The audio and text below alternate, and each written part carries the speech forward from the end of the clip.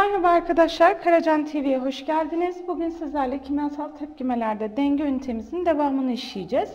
Geçen videomuzda denge sabitimizi tanımıştık. Denge sabitimizin e, özelliklerinden bahsetmiştik. Bu hafta ise denge ile ilgili hesaplamalarla devam edeceğiz. Şimdi ilk olarak denge ile ilgili hesaplamalar yapılırken her zaman derişim kullanılacak arkadaşlar. Bize soruda mol verebilir ama muhakkak derişim cinsinden hesaplama yaparak KC'yi hesaplayacağız. Şimdi ilk olarak sorumuza baktığımızda bize bir tepkime veriyor. Bu tepkime T santigrat derecede 2 litrelik bir kapta dengedeyken ortamda 0,1 mol demir 3 oksit, 0,2 mol karbon monoksit, 0,2 mol demir ve 0,4 mol karbondioksit bulunmaktadır diyor. Buna göre bu tepkimenin derişimler türünden denge sabiti Kc'nin sayısal değeri kaçtır? Diyor bize. Şimdi ilk olarak yapmamız gereken arkadaşlar tepkimemizi yazıp değişimleri bize verilen verileri hemen oluşturmak. Şimdi demir 3 oksit katısı artı 3 mol karbon monoksit gazı tepkimeye giriyor ve 2 mol demir katısı artı 3 mol karbondioksit gazı oluşmakta. Şimdi bize soruda verdiği bilgilere göre ilk dengede yani denge durumunda olduğunu söylüyor bize. Dengedeyken 0,1 0,1 mol demir 3 oksit olduğunu, 0,2 mol karbon monoksit olduğunu, 0,2 mol demir ve 0,4 mol de karbondioksit gazının olduğunu söylüyor. Şimdi dedik ki denge hesaplamaları yapılırken derişim üzerinden ilerleyeceğiz. O zaman biz burada denge bağıntısında kullanacağımız maddelerin derişimlerini bulalım. Şimdi denge bağıntısında saf, katı ve sıvılar yer almıyordu. Ürünlerin derişimi böyle girenlerin derişimi yaptığımız zaman burada hesaplama yapacağımız maddeler karbondioksit ve karbon monoksit. O zaman ilk olarak karbon monoksit gazının derişimini hesaplıyoruz. Karbon monoksit gazının mol sayısı 0,2 mol. Kap hacmimiz arkadaşlar 2 litre. 0,2 bölü 2 yaptığımız zaman 0,1 molar olarak hesaplayacağız. Karbondioksitin derişimini hesapladığımız zaman karbondioksitin mol sayısına bakıyorum 0,4. Kabın hacmi 2 litre. Eşittir buradan da 0,2 molar olarak gelecek. Şimdi artık derişimlerimi hesapladım. Buradan denge sabitimi bulabilirim. Kc eşittir. Ürünlerdeki gazların derişimi, karbondioksitin baş katsayısını üst olarak yazıyorduk. Karbondioksitin derişiminin üçüncü kuvveti. Şimdi buradan verilerimizi yerine yazdığımız zaman Karbondioksitin derişimini 0,2 molar olarak bulmuştuk.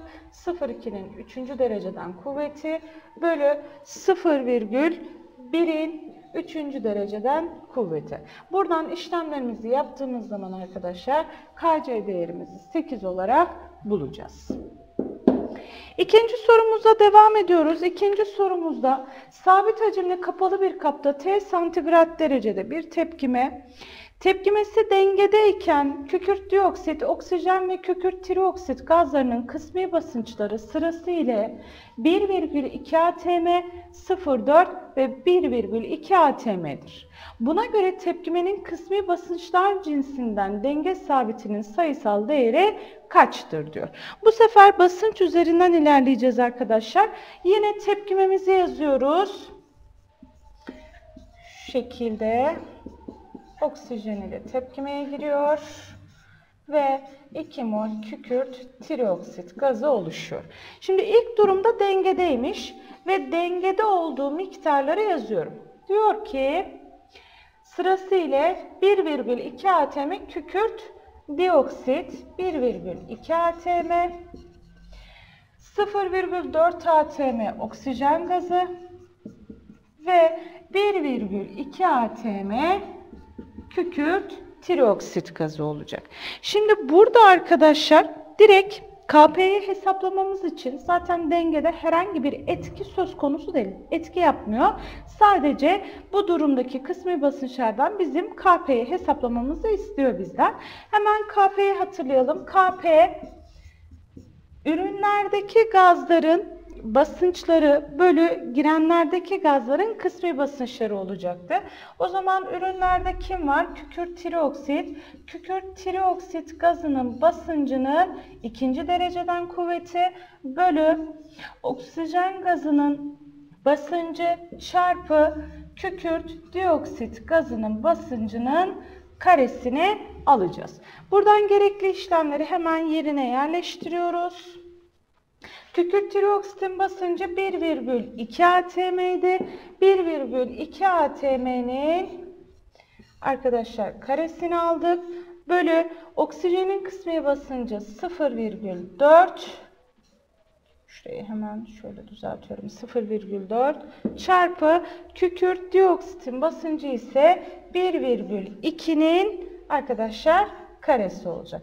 Buradan dikkat ederseniz gerekli işlemleri yaptığımız zaman sadeleştirme işlemlerimizi yaptığımızda cevabımız 2,5 atm olarak bulacağız.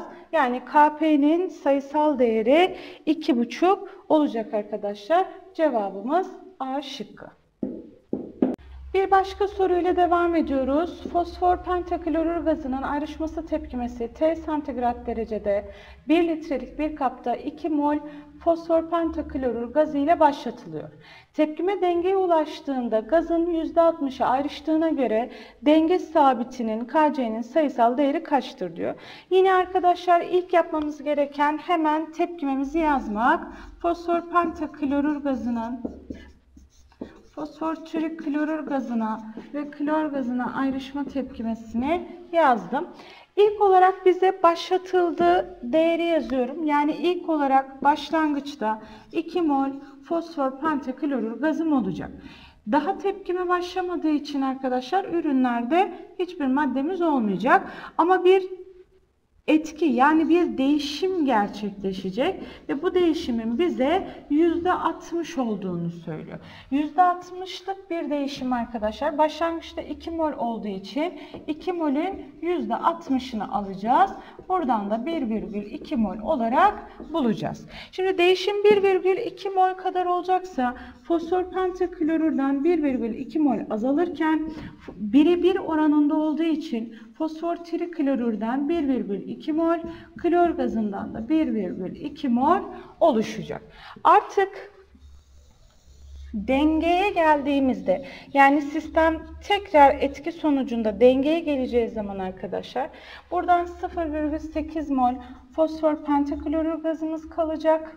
Burada artık 1,2 mol fosfor triklorür gazı ve 1,2 mol klor gazımız olacak. Yalnız KC'nin sayısal değerini hesaplarken her zaman derişim cinsinden hesaplama yapacağımız için kabın hacmi 1 de hepsini 1'e böldüğümüz zaman arkadaşlar derişimi hesaplamış olacağız.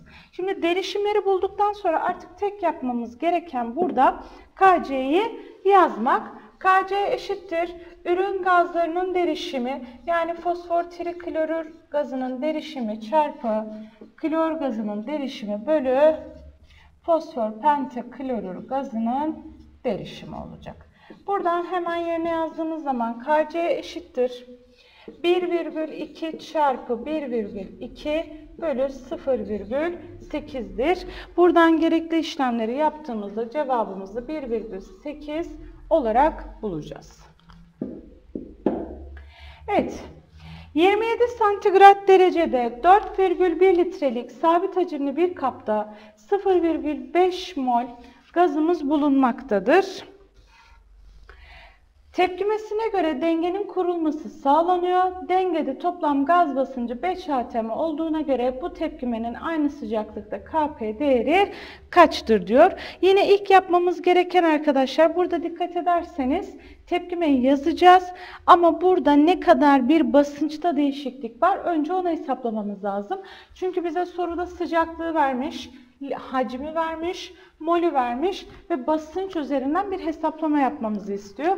Hemen paran varsa ne rahat diyerek arkadaşlar buradan yararlanarak basıncımızı bulabileceğiz. Şimdi verilen bilgileri yerine yazdığımızda P çarpı 4,1 eşittir 0,5 çarpı 0,082 çarpı 300.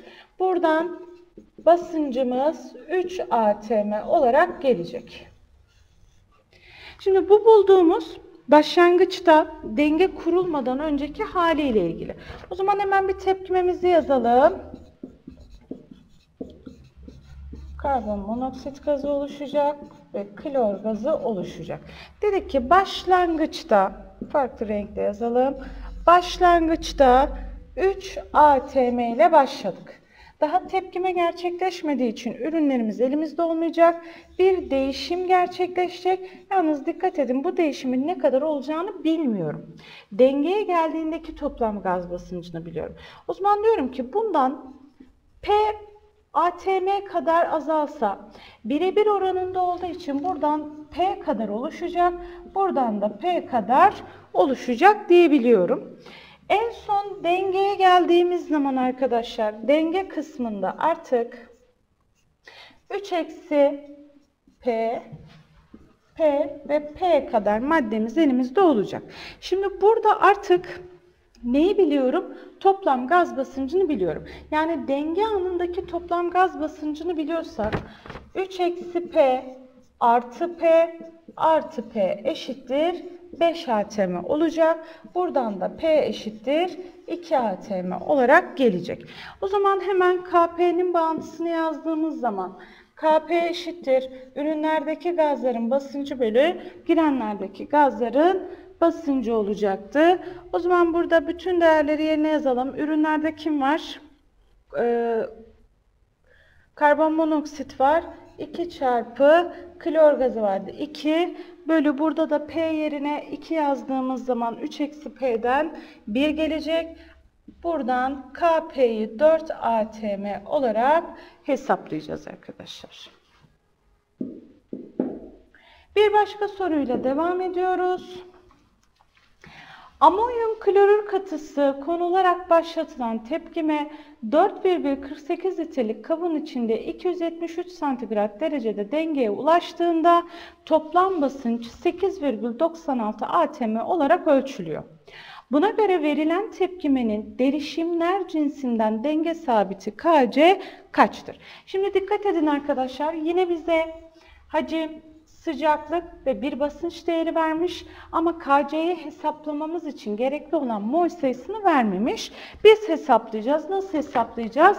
Param varsa ne rahat diyeceğiz. Yine buradan Şimdi basıncı biliyorum artık. Toplam basınç 8,96 atm çarpı hacmim 4,48 litre. Toplam mol sayısını bilmiyorum. Bunu arıyorum. Şimdi R değeri yerine ne yazacağım? Önce sıcaklığa bakıyorum. 273 santigrat derece 546 Kelvin olur. Sadeleşme işlemimizin kolay olması için 22,4 bölü 273 olarak yazdık.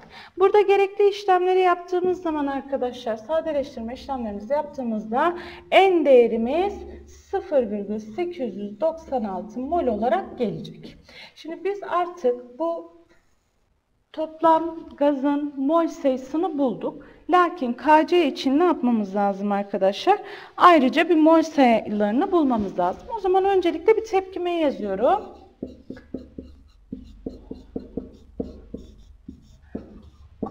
Amonyak gazı artı hidroklorik hidroklorik.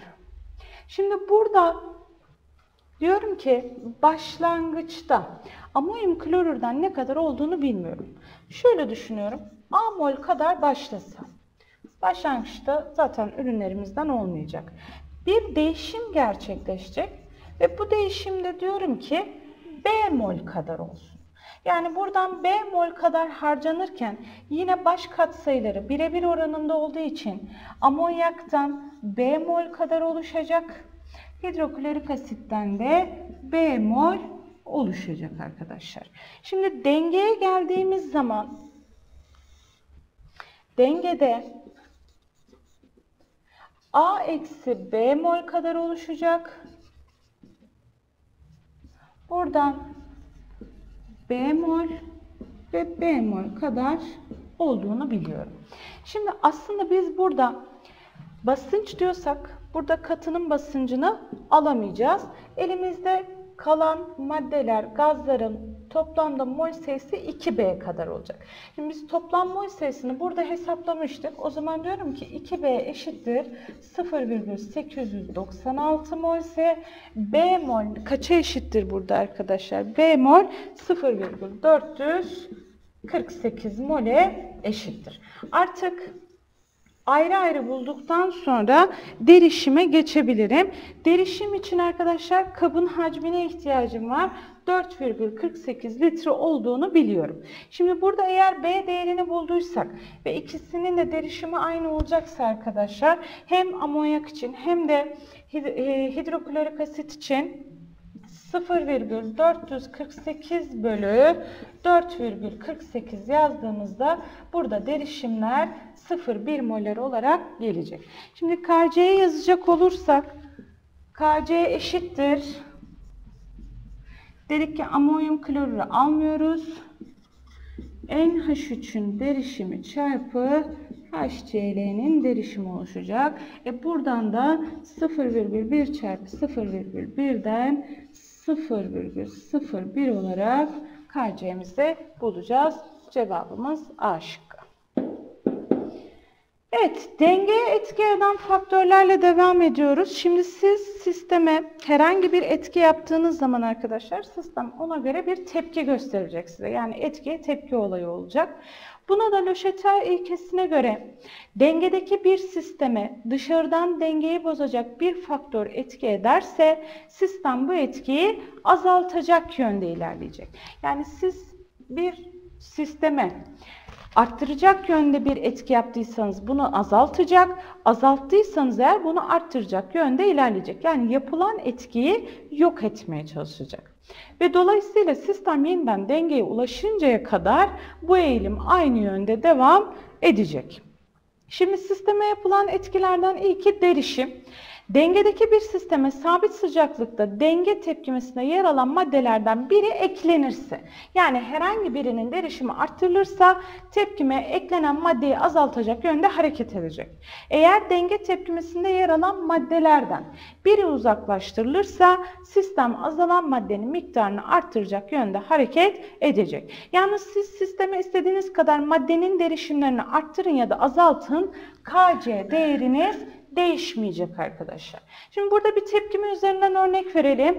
Karbon monoksit gazı klor gazı ile tepkimeye giriyor ve bir ürün oluşturuyor. Tepkime sabit hacimli kapalı bir kapta dengededir diyor.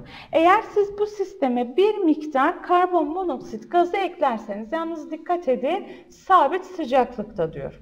Şimdi bir miktar karbon monoksit gazı eklersem karbon monoksit gazının derişimi artacak. Dedik ki prensibe göre derişim artıyorsa sistem bu etkiyi azaltacak yönde ilerleyecek. Şimdi eğer girenlerde derişim arttıysa bunu azaltması için ürüne dönüşmesi lazım. Yani dengenin ürünler yönünde hareket etmesi gerekmektedir. Dolayısıyla Karbon monoksit gazının derişimi dikkat edin grafikte önce artacak. Çünkü siz dışarıdan madde eklediniz ama daha sonrasında tekrar dengeye gelmek için arkadaşlar bir azalış gösterecek. Denge sistemi ürünler yönünde hareket edecek. Dolayısıyla klor gazının derişimi dikkat edin önce azalacak ama sonra yine dengeye gelecek. KC'nin değeri değişmez çünkü derişim değişmesi KC değerine herhangi bir etki yapmayacak. Bir miktar karbonil diklorür gazı eklediğimiz zaman sabit sıcaklıkta dışarıdan bir ekleme yaptığımız için öncelikle arkadaşlar ne olacak? Derişimimiz artacak. Ama daha sonrasında ne olacak? Hemen bir önceki slayta dönerek göstermek istiyorum. Burada bakın karbonil diklorürün derişimi arttığı zaman sistem bu etkiyi azaltmak için hangi yöne hareket edecek?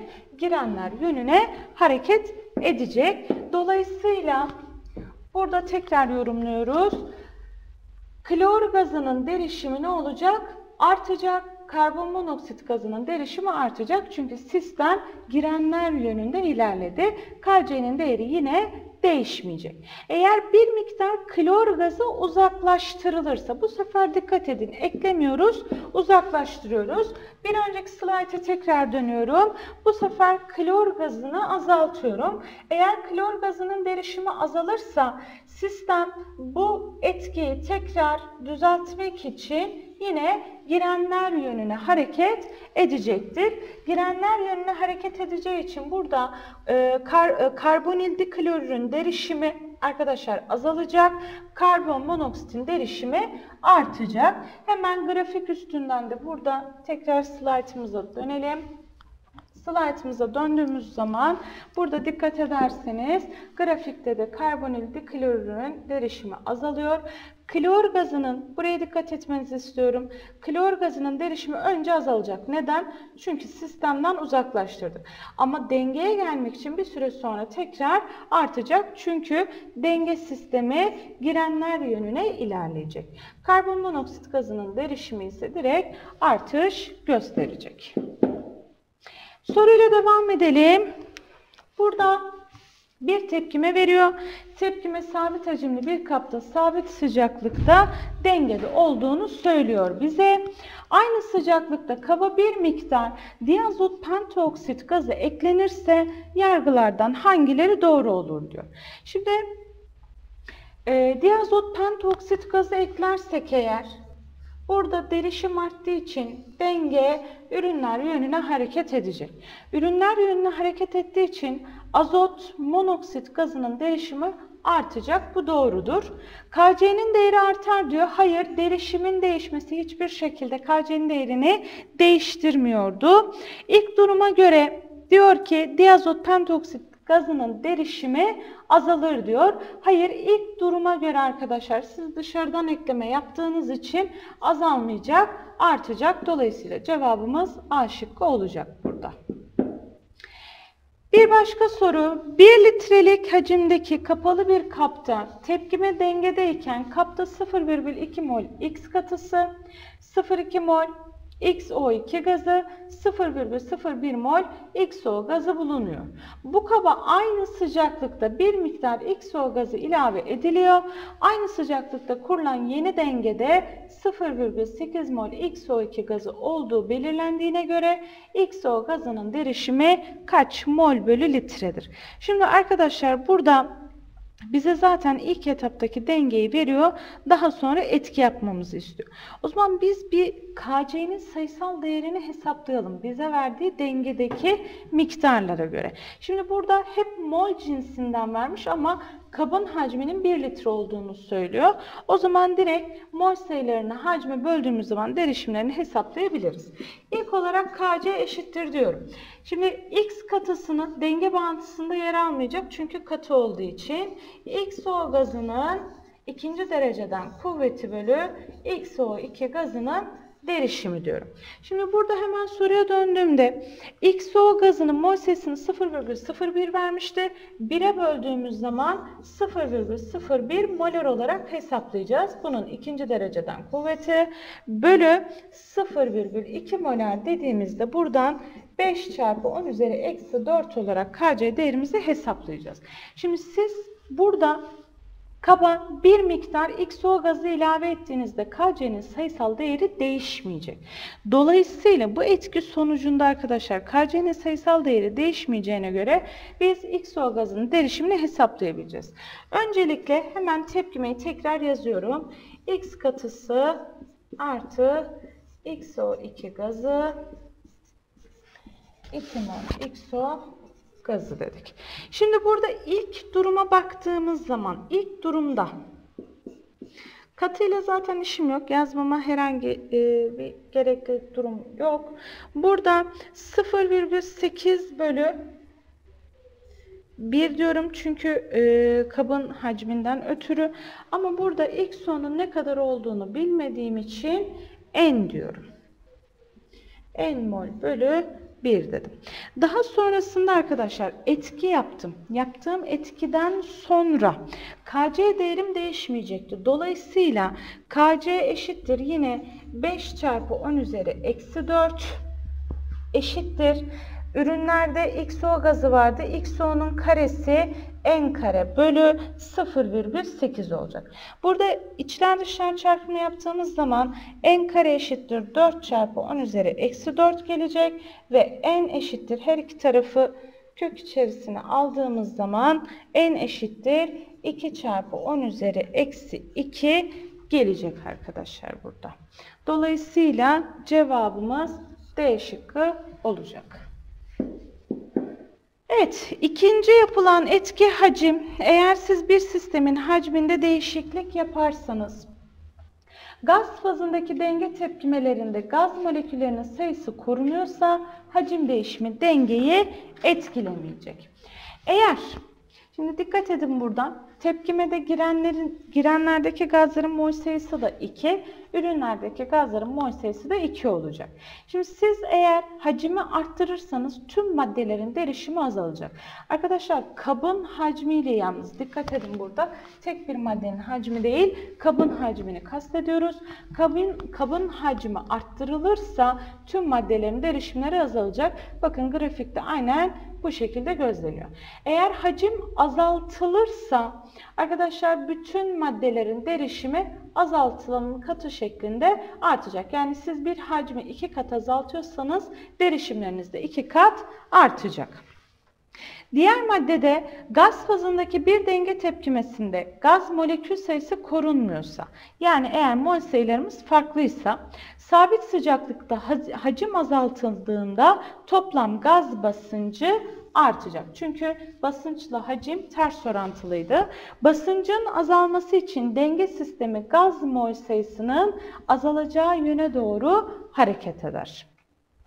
Sabit sıcaklıkta hacim arttırıldığında ise toplam gaz basıncı azalacağı için bu azalan basıncı yeniden arttırmak için basıncın artması için denge mol sayısının artacağı yönde yani mol sayısının fazla olduğu yönde hareket edecek. O zaman bir denge tepkimesine sabit sıcaklıkta hacim değiştirilirse Kc değerimiz yine değişmeyecek arkadaşlar.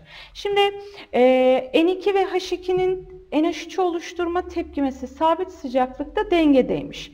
Eğer bu tepkime ile ilgili hacim arttırılırsa, yalnız sıcaklık değişmiyor.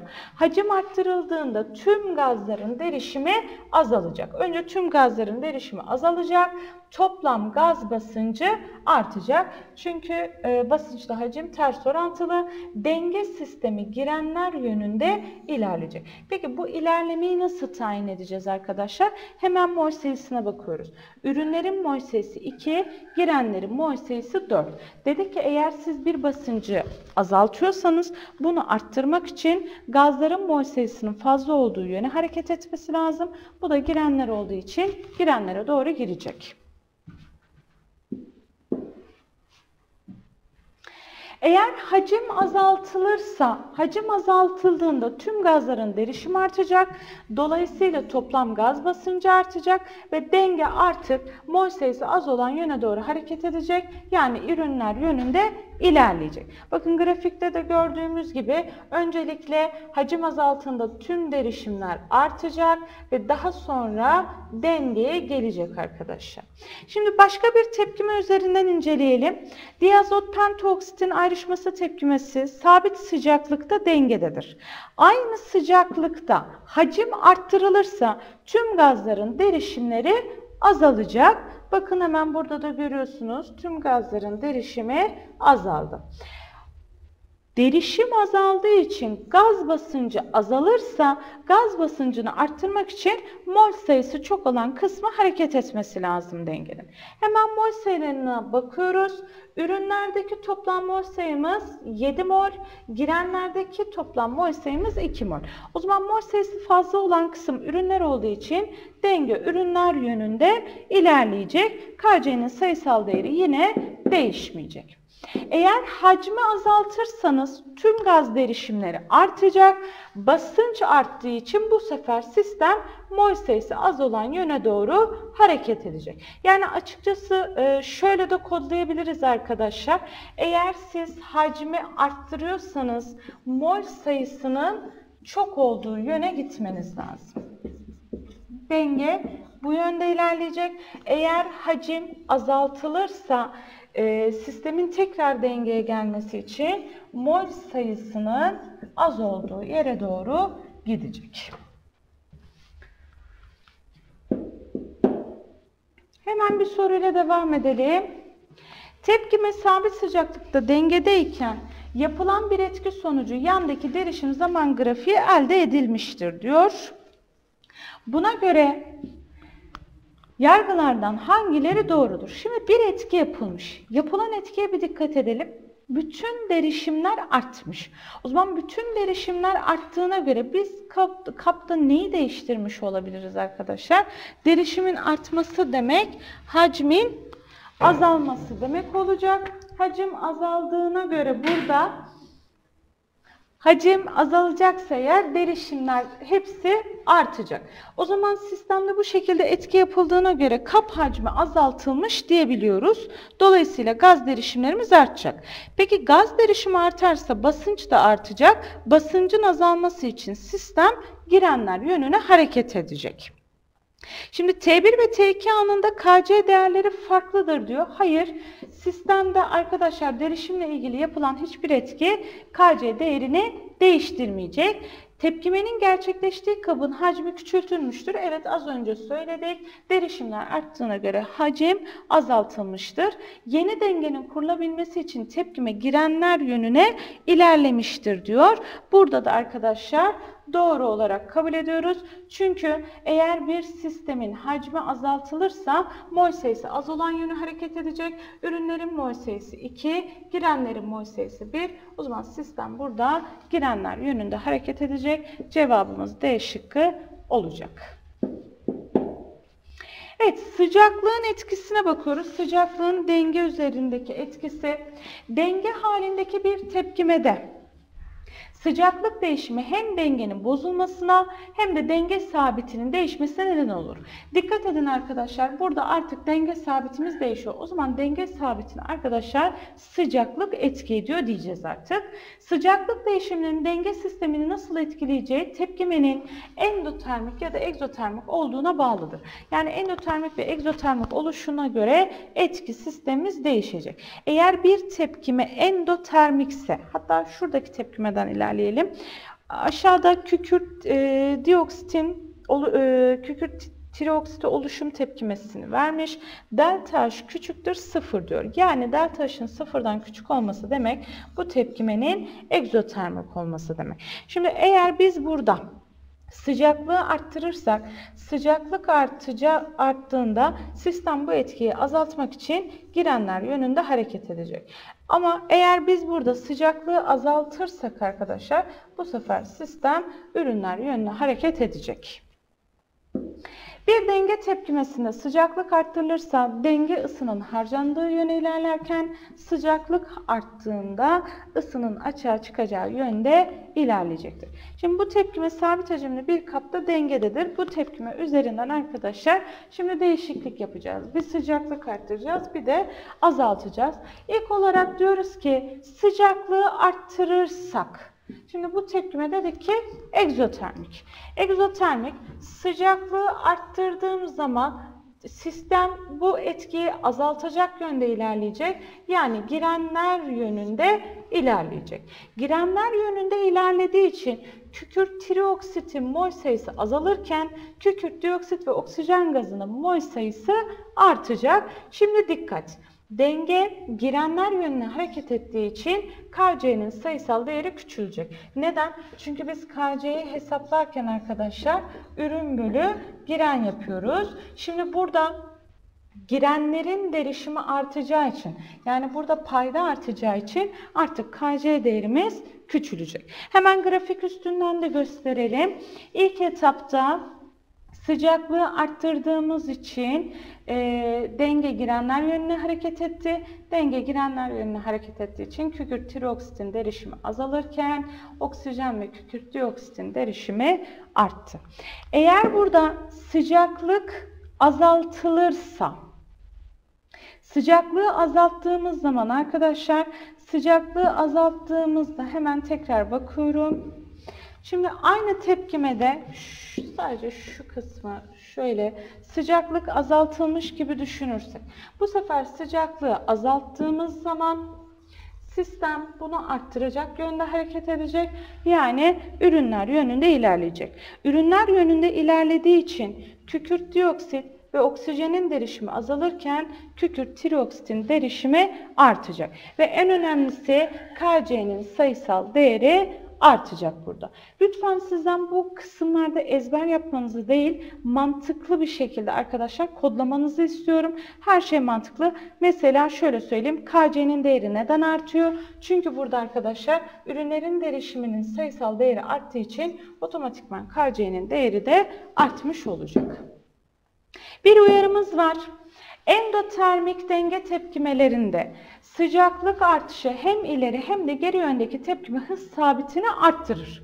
Ancak denge ürünler yönüne ilerlediği için ileri yöndeki tepkimenin hız sabiti daha çok arttırır ve dolayısıyla Kc büyür. Diğerinde de arkadaşlar tam tersi ileri yöndeki tepkimenin hız sabitinde azalma miktarı daha az olacağı için Kc değerimiz büyüyecek. Çünkü e, denge sabiti ileri yöndeki hız sabitinin geri yöndeki hız sabitine eşit olması sonucunda kuruluyordu. Şimdi burada bir soruyla devam edeceğiz. Bize bir tepkime vermiş. Yukarıda verilen tepkime dengedeyken hacim, e, işlemlerden hangileri tek olarak uygulanırsa denge ürünler yönüne ilerlerken KC değeri de artar. Yani bize aslında KC'nin ne yaparsak, hangi etki yaparsak artacağını soruyor burada. Şimdi ilk olarak delta H büyüktür sıfır demek bu tepkimenin endotermik olduğunu söylüyor bize. Eğer biz burada sıcaklığı arttırırsa, sıcaklığı arttırdığımızda e, sistem bu etkiyi azaltacak yönde hareket edecek. Yani denge ürünler yönüne ilerleyecek ve KC değerim büyüyecek. O zaman birinci öncülü tek başına yapabilirim kap hacmini küçültürsek, eğer arkadaşlar hacim küçültürsek basınç artacak. Dolayısıyla bu artışı azaltmak için arkadaşlar mol sayısının az olduğu yöne doğru ilerleyeceğiz. Ama dikkat edin burada mol sayılarımız eşit. Mol sayıları aynı olduğu için hacim değişimi sisteme herhangi bir etki yapmayacak. Yani ikinci öncül hiçbir şekilde KC değerini arttırmayacak. Aynı sıcaklıkta 1 mol XY gazı eklersek bu sefer arkadaşlar dikkat edin. XY gazımız nerede?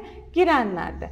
Girenlerde XY gazının derişimi artarsa sistem ürünlere doğru hareket edecek. Sistem ürünlere doğru hareket etti ama KC'nin sayısal değeri değişmeyecek arkadaşlar. Yani iki öncülü bir arada sağlamadı. Evet ürünler yönünde ilerledi. Lakin KC değerini değiştirmedi. Dolayısıyla cevabımız yalnız 1 olacak.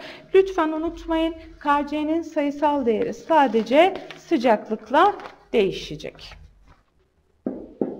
Evet, denge etki eden faktörlerden dördüncüsü katalizör ile devam ediyoruz. Katalizör Hızdan da hatırlayın arkadaşlar. İleri ve geri yöndeki tepkimelerin aktivasyon enerjilerini değiştiriyordu değil mi? Aynı miktarda azaltıyordu. Dolayısıyla eşik enerji değerimiz azalacak. Şimdi burada e, bir tepkime katalizör etkilediğimiz zaman denge sabiti değişmeyecek. Çünkü ileri tepkime ve geri yönde tepkime hızımız aynı şekilde değişiklik göstereceği için Denge sistemindeki maddelerin derişimleri değişmediği için katalizörün dengeye de herhangi bir etkisi olmayacak. Sistemin dengeye ulaşma süresini kısaltacak ama yani burada hıza etki edecek aslında. Hemen grafiklerden görelim. Katalizörsüz bir dengede dikkat edin arkadaşlar burada dengeye ulaşma süresi T1 iken artık burada ne yapmış? Biraz daha geriye almış. Yani biraz daha hızlandırmış. Sadece hızı etkili, etkileyecek dengeye ulaşma hızını. Beşincisi basınç. Bir denge tepkimesinde gaz halindeki bir veya birkaç madde bulunuyorsa sabit sıcaklıkta basınç değiştirilirse denge sistemi Löşetter ilkesine göre bu etkiyi azaltacak yöne doğru ilerleyecek. Basınçla derişim doğru orantılı olacak arkadaşlar. Burada yani basınç eğer artarsa derişim artacak, basınç azalırsa derişim azalacak. Şimdi burada bir denge tepkimesinde Toplam gaz basıncı arttırılırsa denge gaz mol sayısı az olan yöne doğru ilerleyecek. Eğer basınç azaltılırsa mol sayısının fazla olduğu yöne doğru ilerleyecek. Şimdi bir tepkimeye etki yapıyoruz. Burada tepkimemiz diazot tetraoksit gazı 2 mol azot dioksit gazını oluşturmuş. Burada diazot tetraoksit gazının basıncını arttırırsak, şimdi basınç artacağı için Chatelier prensibine göre denge ürünler yönüne hareket edecek. Bu bir etkiyi azaltacak. Dolayısıyla ilk başta derişimimiz artacak. Daha sonra azalarak dengeye gelecek. Azot dioksit gazının derişimi ise burada artış gösterecek.